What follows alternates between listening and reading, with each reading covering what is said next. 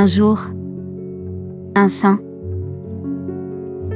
Bienvenue sur la chaîne qui commémore ces hommes et ces femmes qui ont marqué l'histoire de l'Église à travers les âges.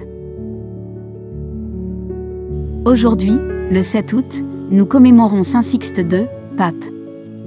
Bonjour. Saint Sixte II était le pape de l'Église catholique romaine de 257 à 258. Il est né à Athènes et est devenu l'un des premiers papes grecs.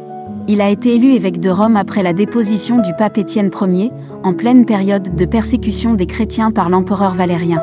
Sixte II est connu pour sa douceur et sa sagesse, et il a joué un rôle clé dans la réconciliation des communautés chrétiennes divisées par des disputes doctrinales et disciplinaires. Cependant, son pontificat a été de courte durée en raison de la persécution violente menée par Valérien, qui visait les dirigeants chrétiens. Le 6 août 258, Saint Sixte II célébrait l'Eucharistie dans les catacombes de Saint Calixte lorsque des soldats romains l'ont arrêté.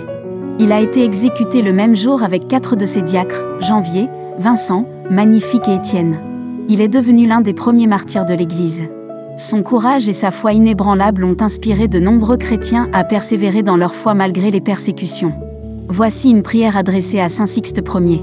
Ô Saint Sixte Ier, toi qui as guidé l'Église avec sagesse et douceur, même en des temps de grandes persécutions. Intercède pour nous auprès du Seigneur afin que nous puissions rester fermes dans notre foi malgré les épreuves. Accorde-nous la grâce de la réconciliation et de l'unité au sein de notre communauté chrétienne.